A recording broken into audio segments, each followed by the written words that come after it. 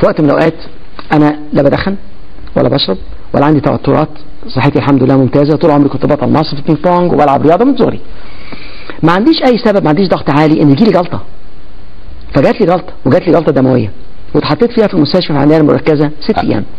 هم؟ وانا هناك. أنت تتحدث عن نفسك بصراحة هكذا. حضرتك آه لا براحه كده الناس ولا يعني أنت عمال تقول للناس والله أنت عارف أنا بقول للناس. مع أن الناس تواري مثل هذه الأشياء. لا أنا أوريها لأن الناس لازم تعرف. ويكون مريضا يقول أنا قوي أنا قوي. لا بالعكس. القوة إنك تبقى تقول حقيقتك. أنت عارف إزاي؟ الله أنا بقول للناس. هو أن تقول طبعا. الحقيقة كل اللي أنت عديت بيه إن أنا بدأت من غسيل الصحون طبعا. دي كانت أحسن أيام. كنت أحسن واحد يغسل صحون في كندا. ما كنتش شاء صحون. كنت عارف رايح مدير عام كانت أول سلمة. نعود إلى الفترة المهم وصلت وكان عندي جلطه وجالي وقتها وأنا تعبان ولد عنده سبع سنين. وبعدين يقول أنت متضايق؟ أنا قلت أنا ناقص. امشي يلا امشي.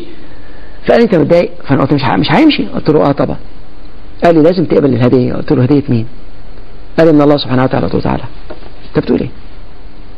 لأن ده كان رسالتي. قال لي تعرف أنا بكرة الصبح هعمل عملية سرطان في المخ. احتمال نجاحها 1% لو كان ربنا سبحانه وتعالى عايزني أكون لعيب سلة كان خلقني 6 متر لكن خلقني صغير عشان عندي سبع سنين عندي سرطان في المخ عشان أكتب الكتاب ده. كيف تتعامل مع السرطان في سن صغيرة؟ الكتاب ده عامل ضجة. ادي القوة الروحانية. أنا وقتها تعبت جدا وعندي جلطه ما كان ممنوع إن أنا أنزل.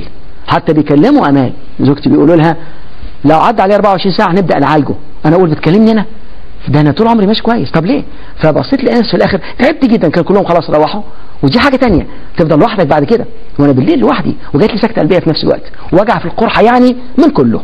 فرحت متجه. بلا بضرب بلا بتاع ولا جرس. رحت متجه لله سبحانه وتعالى باعتقاد تام. قلت له يا رب أنت عارف أنا تعبان قد إيه. لو دلوقتي بطلب بكل الأحباب بحبيبك محمد بطلب منك بطلبك يا رب إنك تعجل بيه. أنت عارف أنا قد إيه تعبان.